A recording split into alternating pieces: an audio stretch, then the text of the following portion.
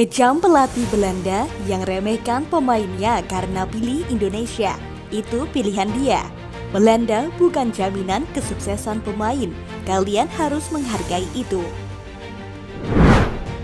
Kontroversi pelatih Belanda yang kecam Indonesia karena rebut bakat-bakat terbaiknya ke Indonesia tak dihiraukan pemain-pemain keturunan yang membela timnas Indonesia.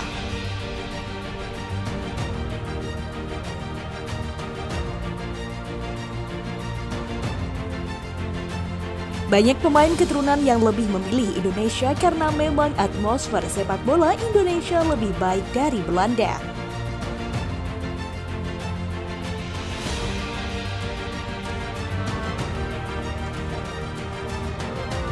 Besarnya pecinta sepak bola di Indonesia membuat hati para pemain keturunan lebih besar ketimbang membela Belanda. Itulah yang dituturkan Justin Hubner setelah sumpah WNI dahulu.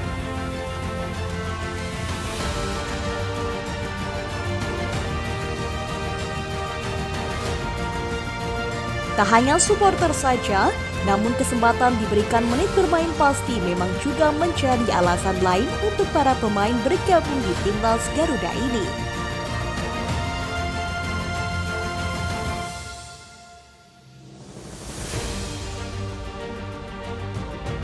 Karena jika membela Belanda, mereka belum tentu bisa mendapatkan menit bermain yang baik di timnas Oranye, karena persaingan di sana memang cukup ketat.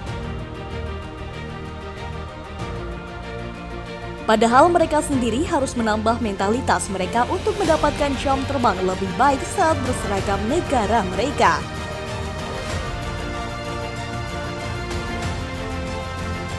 Untuk itulah mereka memutuskan bersama-sama bergabung ke tim Garuda untuk bisa membawa Indonesia berjaya di kancah Asia ataupun dunia seperti halnya Maroko di Piala Dunia lalu.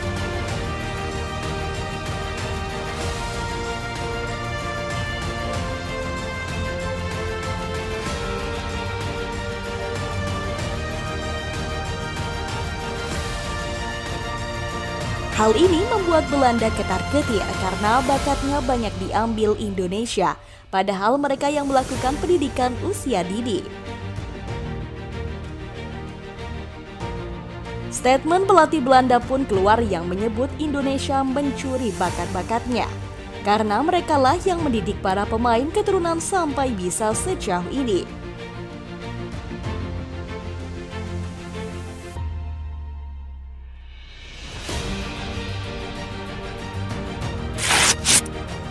Saya rasa akan lebih banyak lagi yang akan pergi dari Belanda karena mereka memang memiliki hak untuk memilihnya. Ungkap pelatih muda Belanda.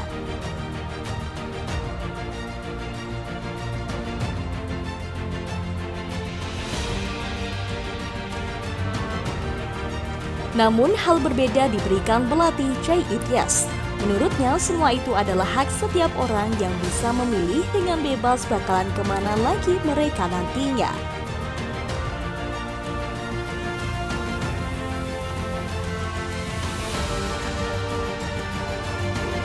Semua orang berhak memilih kewarganegaraannya sebelum membela timnas senior, karena memang membela negara sudah berbanding lurus dengan hati nurani sang pemain.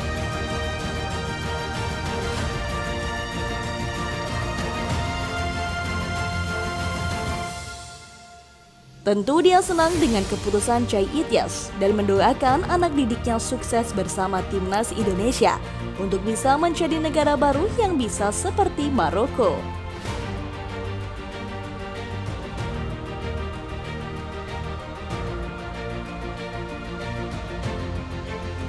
Tak hanya itu saja, pelatih Jay Ityas juga mengecam pelatih Belanda yang seenaknya memberikan statement tak jelas. Padahal itu memang sepenuhnya hak sang pemain.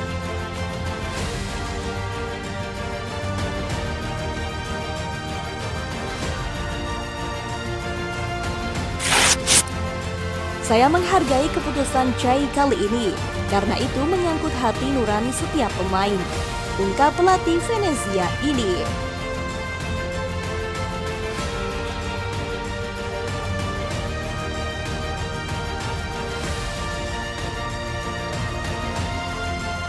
Nah, menurut kalian siapa lagi nih yang akan dibawa Erick Thohir berseragam timnas Indonesia? Yuk berikan pendapat kalian di kolom komentar.